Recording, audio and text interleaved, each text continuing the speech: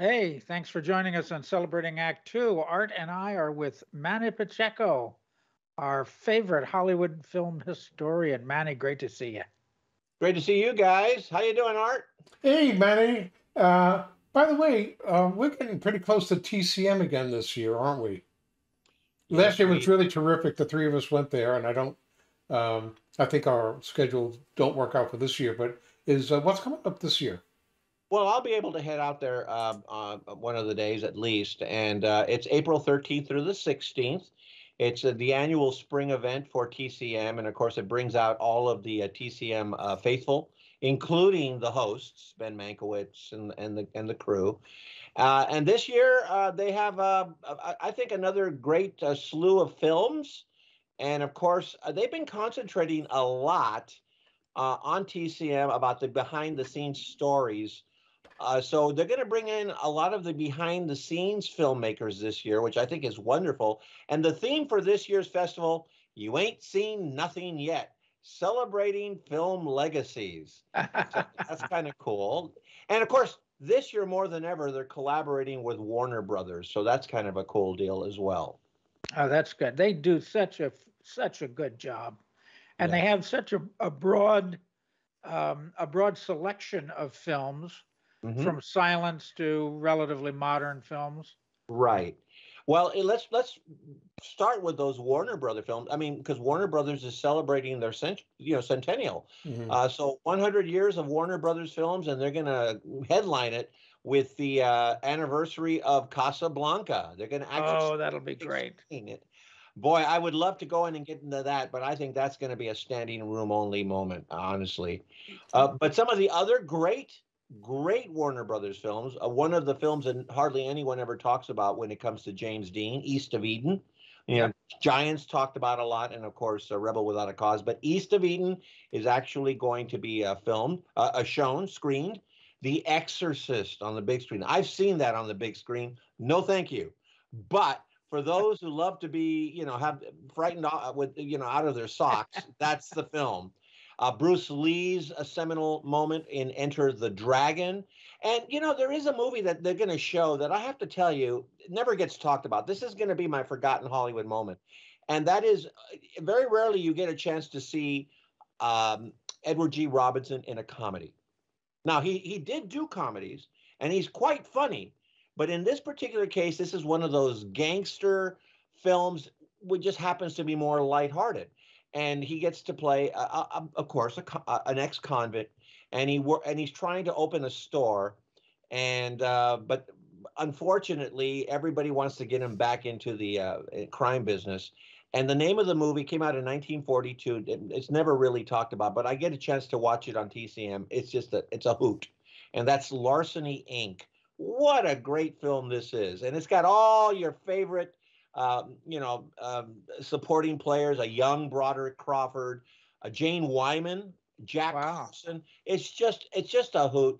They're going to be showing Mr. Roberts, which is one of the No kidding. Brothers films. I just love uh, Josh Logan's Mr. Roberts. That was a wonderful film. Yeah. Yes, and and, and by the way, they're going to also do a celebration of the remakes of the Ocean's Eleven series, the Steve uh, Steven Soderbergh Ocean's Elevens. Oh, that's interesting. Yeah, so I mean, and, and one more, one more, Rio Bravo, Oh, great Warner Brothers film with, of course, uh, uh, John Wayne, Dean Martin, uh, uh, Ricky Nelson, Walter, Yep. Brennan, and in his very last uh, film appearance, uh, Ward Bond. Mm. oh, wow. Yeah. You know, Yeah, uh, last heard- last year um, we uh, uh, uh, spoke. Uh, you did an interview with Ben Mankiewicz for Celebrating Act Two, and um, just as an interesting side event, um, th- this seems to be a, a year that he's actually uh, coming to more prominence. Uh, I've seen him in two or three 60 minutes interviews, um, and uh, he he does a, a, a pretty good job. That's that's all I've got to say. Yeah, and and the and the guests that they're going to have are going to be able to lend to all of what he does really well. They're going to be honoring uh, Russ Tamblyn, who now is in his Mm. 80s. Of course, we all remember him as that Mm. teenager who appeared in Seven Brides for Seven Sure. Brothers, and of course West Side West Story. Story. Yes. Yeah, he was wonderful in West Side Story, and of course, I can imagine the conversation that Mankiewicz is going to have with Ann-Margret. Oh wow. but as I mentioned, uh, there they are going to bring in some uh, behind the scenes directors, uh, some that are more recent. I, I did mention Steve Soderbergh; he's going to be on hand. Um, one of my favorite director, uh, directors is going to be there. I hope I get a chance to meet him, Alexander Payne, and you'll know his work. He did he did a wonderful job on Nebraska Yeah. and Sideways. Fabulous film about winemaking. So Alexander Payne, Steve Soderbergh, and of course the uh, more traditional um, uh, directors, Lawrence Kasdan, who um, of course did The Big Chill, uh, uh, William Friedkin, who did, of course, The Exorcist. And uh, so they've, they've got really a, a slew of great directors that are going to be there. And of course, the actors are going to be there, like Ann-Margret. Amy Irving is going to be there. The usual suspects.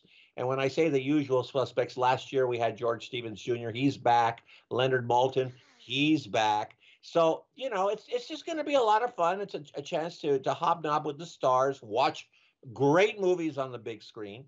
It's one thing to watch things on television, but boy, when you get a chance to watch something on uh, on the big screen that you haven't seen before, Yes. sure is a Yeah. lot of fun. Yeah, but I like you. I think I, I'm uh, okay to pass on The Exorcist because that's that's one of the few films when I was growing up that scared the crap out of me. It scared me too. Now they're honoring, you know, with the with their uh, Robert Osborne Award this year to Donald Bogle, and you see him a lot on TCM. One of these wonderful authors and historians. He's Yeah. uh, basically written very, very well about the Black experience in film, and, and he's written about everybody from its origins with Noble Johnson and director Oscar Micheaux to some of the great black early black stars like Paul Robeson, Hattie McDaniel, Eddie Mhm. Rochester Anderson, Louise Beavers, and of course he moved on to great uh, uh, crooners like Ethel Waters and Lena Horne, and of course Dorothy Dandridge, Sidney Poitier, Oh. Yeah. and, and he's even written, you know, very eloquently about more recent uh, black filmmakers like Spike Lee, John Singleton. I mean, he really covers the the real, real essence of the black experience. And of course, now they're going to honor him, and I think that's an excellent choice made by uh, by TCM. So ha- Yeah. happy to see that as well. Yeah. Great. uh, You know, it's a fascinating channel. And this film festival that they do every year is just wonderful. Really. Absolutely. And they they just support film and film history like nobody else. now, if you were to ask me, and go right ahead if you'd like, which films am I looking forward to? Oh, and John, Okay, which films which, are you looking- which films are you looking forward to, Manny? I love the movie Airport. You know the, the Dean Martin, Burt Lancaster, which really Yeah. signaled the great uh, '70s. Uh, you know those those big tragedy films that they like to do. You know those, and Airport was the first one. American Graffiti on the big screen, I think, would be No kidding. That'll fun. be fun. That's a good one. Absolutely, I, I think that would just be a- wonderful. I'd love to see Dr. Jekyll and Mr. Hyde, the original with Fredric March. I think that's going to be a, a biggie as well. So I mean, they've got some good good films that are coming up, and I'm I'm looking forward to them. I mean, um, I'm trying to think of one more. Oh, I, th- I believe they're showing King Kong, the original, on the big screen. How how No kidding. fun is that? And With Fay Wray. Very, very, yeah, I was going to say. with Fay Wray- And, and and the Empire State Building.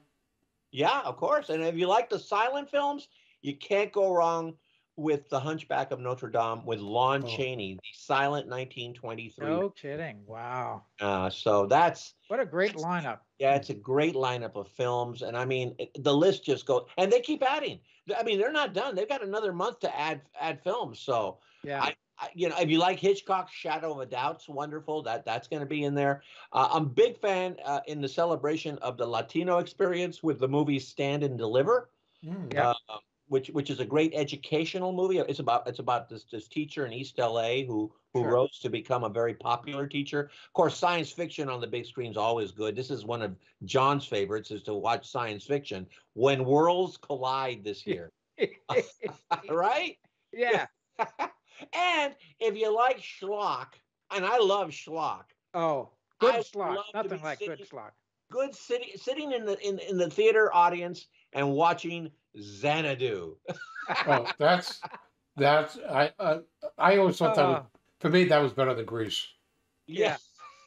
Up until Well- Xanadu, I really liked Olivia Newton-John. You know, Well, Gene Kelly appears in it, which No, is I thought it was a great movie. And and the music, the music, of course, by uh, Electric Light Orchestra, my absolute favorite uh, band of the 1970s. So Hmm. I don't think that that's uh, I don't think it's a bad movie, and I I saw it on the big screen a long time ago in Century City. So I'd go back and watch it again. I just love it. Okay, well, you know, maybe we ought to go out on on like a, a triple date, and you and I can go see Xanadu, and uh, John can go see uh, Journey to the Moon. When worlds collide. When the- worlds collide. hey, listen, Manny, uh, we need to remind people that um, we have what a dozen videos from last year's TCM festival, that's right. and uh, they're not really they're not that specific about that particular year. Yeah. Um, there are a lot of generic, great interviews with the hosts, with some celebrities, with the fans. Um, so they're worth watching again and again. I think. by, by the way, just uh, those. For for the plug, it's got its own special playlist, so you can go and look at the playlist that has TCM. I think it was 2022, whenever whatever that. It's got its own special playlist, and Right. please, if you've enjoyed that, we don't ask you for money, although you could send money. Uh, please hit the subscribe and the like buttons, like your hand was had Right. like only ten more things it could do in its life, and Yeah, nothing will get you in the mood like watching these interviews that we did, and Right. and and uh, the sights and the sounds of TCM. Sure. I'm with you. Let's go back. Let's reminisce. Let's get ready and get revved up for 2020, uh, 2023's uh, TCM's Classic Yeah. Film Festival. And also, Manny, before we go, I want to hold you uh, to a commitment to come back and report to us about this year's TCM festival. I don't know. I mean, you don't have to give me money, but as Art said, if you want to, then I'll come Yeah. back. Okay. The- well, by the way, uh, ju- just why don't you hold on to this thought? The check is in the mail. Oh, great. Right on. See you soon, Manny. You got it. For more on Celebrating Act Two, visit our webpage, follow us on Facebook, subscribe to us on YouTube, and tell your friends. Celebrating Act Two is the user manual for the second half of your life.